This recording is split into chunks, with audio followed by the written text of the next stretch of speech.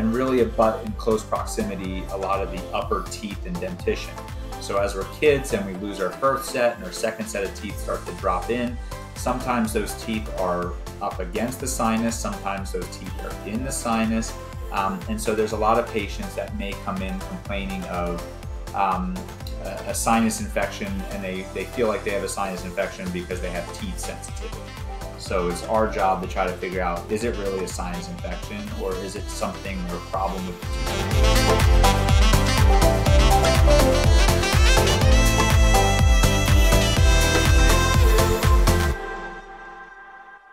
Hey guys, welcome to another episode of We Nose Noses. I'm Dr. Reddy, joined by Dr. Smith, and today we are going to discuss a topic. Uh, the question we're trying to answer is Can my teeth cause sinus issues?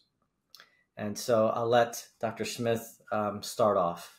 Sure. So there's a lot of times that we get the, the impetus of this discussion is basically we get a lot of patients that either have teeth sensitivity or teeth pain, sinus pain, cheek pain, and don't really know should I go to an ENT, should I go to a dentist?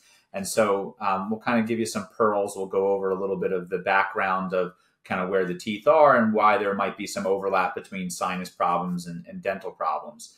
Um, so the teeth, you know, essentially you have 32 teeth in the adult mouth and they all sit kind of in four quadrants. So you have your uppers and then your lower quadrants here.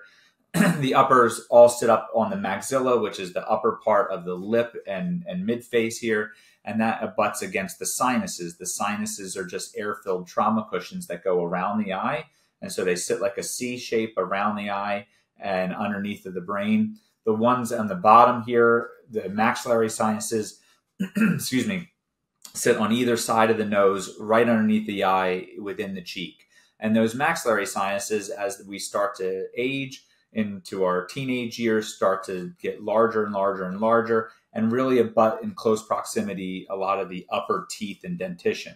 So as we're kids and we lose our first set and our second set of teeth start to drop in, sometimes those teeth are up against the sinus, sometimes those teeth are in the sinus um, and so there's a lot of patients that may come in complaining of um, a, a, sinus infection and they, they feel like they have a sinus infection because they have teeth sensitivity. So it's our job to try to figure out is it really a sinus infection or is it something or a problem with the tooth? Um, do you want to talk about how you kind of first approach somebody if they come in and they say, you know, I have teeth sensitivity, it's always on my right hand side, and yeah. try to figure out the, the problem?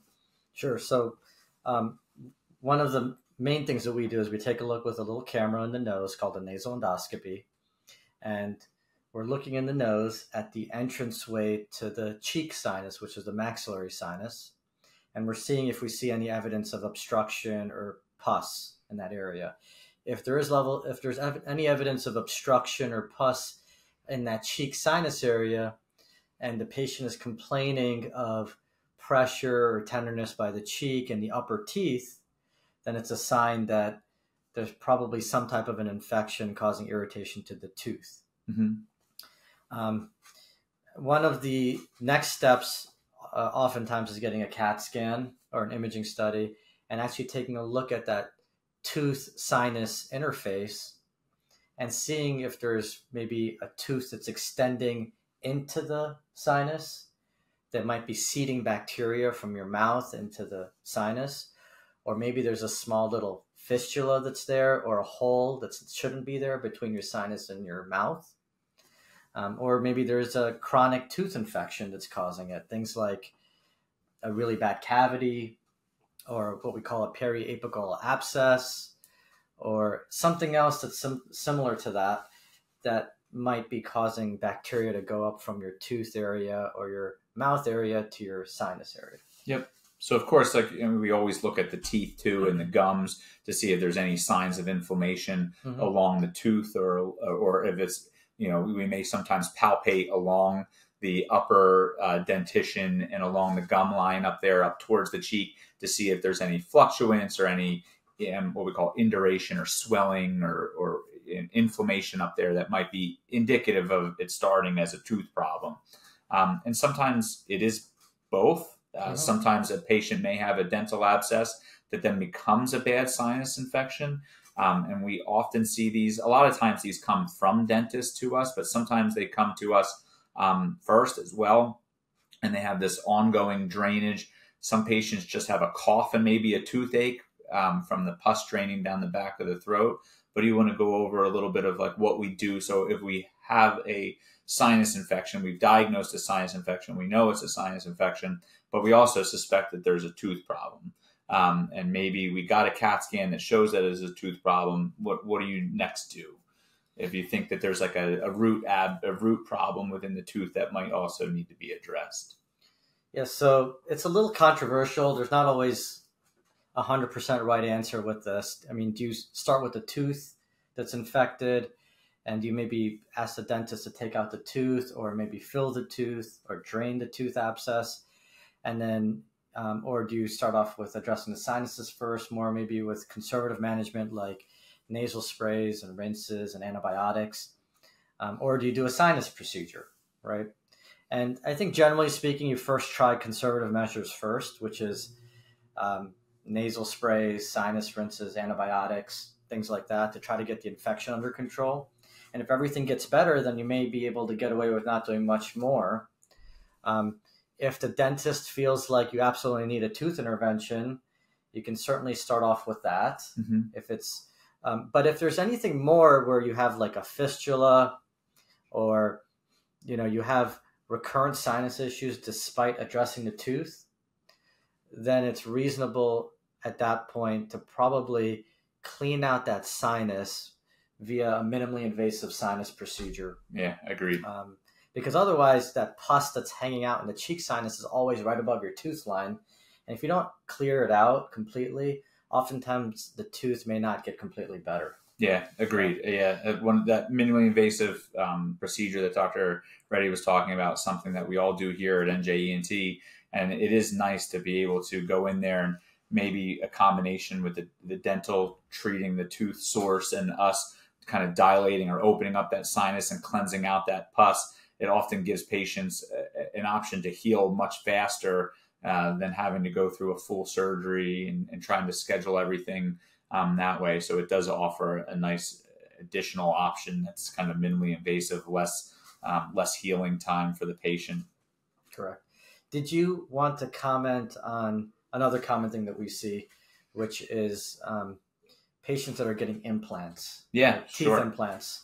Oftentimes, patients are getting implants for missing teeth um, for cosmetic reasons or functional reasons, and the oral surgeon um, is putting these implants into the upper part of the teeth. Right. Do you see any problems with those? Yeah, sometimes. So yeah, th- those are very tricky, especially if there's a very thin maxilla between the sinus. So if someone has a very large maxillary sinus, there may not be a lot of bone to put an implant in.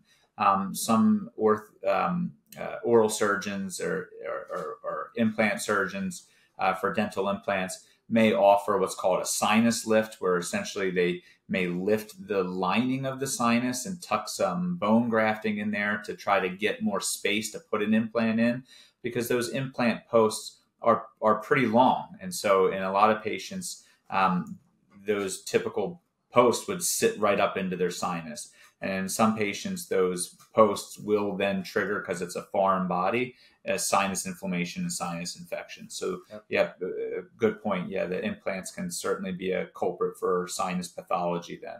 And do you ever see any, as far as like, I know we mentioned this maybe in an old podcast, but have you ever seen any other things with teeth in the nose or in the sinuses that might be of interest to people listening? Yeah, so, I mean, sometimes it, uh, you can find a tooth which within the nose, which is rare, but more commonly within the actual sinus. sinus. itself. And usually they don't cause much if, issues within the sinus, but certainly you don't want a tooth in your nose. Right. you know. Yeah, agreed. I've even found um, dental bits within the maxillary sinus, and so a dental drill bit um, that had fractured off and gone into a maxillary sinus. Um, now that the dentist knew that that had gone in there, but had to fish that out, a separate procedure. So the they are really close in proximity. So, so that that is why a lot of people can't quite figure out is it tooth or is it sinus. Correct. I think is. Do we have anything else to add? No, I think that's it. We'll talk more at, in later and future dates about other dental overlaps with the ENT because there are other areas that that um, things from um, within the dent tend to overlap a lot with other areas in the head and neck. Talk about them at a later date. But no, that's it. That that's all that we have for today. So thank you for joining us on another We Nose Noses podcast. Make sure you like and subscribe. Thank you.